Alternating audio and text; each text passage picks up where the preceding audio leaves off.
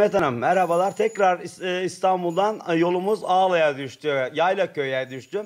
Harun Kolçak'la ilgili biraz sohbet ettik biraz önce. Harun Kolçak sana güzel mesajları vardı. İzlememişsin yoğunluğundan dolayı. Şu anda Harun Kolçak'a güzel bir mesajın var mı acaba?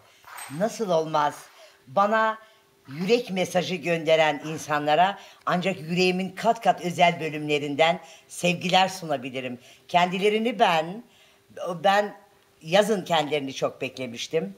Ama biliyorum ki bir gün gelecekler. Okumadım ama e, okuyan dostlarımdan duyduğum çok güzel mesajlar söylemiş. Önce affına sığınıyorum okuyamadığım için. Hakikaten çok yoğundum. Eşim burada yoktu.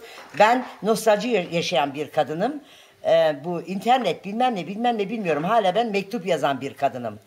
Haruncum yüreğinden öpüyorum ben senin. Sevgilerine bin kat sevgi sunuyorum ve sevgileri gül yapraklarıyla gönderiyorum. Ve denizde yıkadığım kumlarla gönderiyorum onları sana. Seni bekliyorum.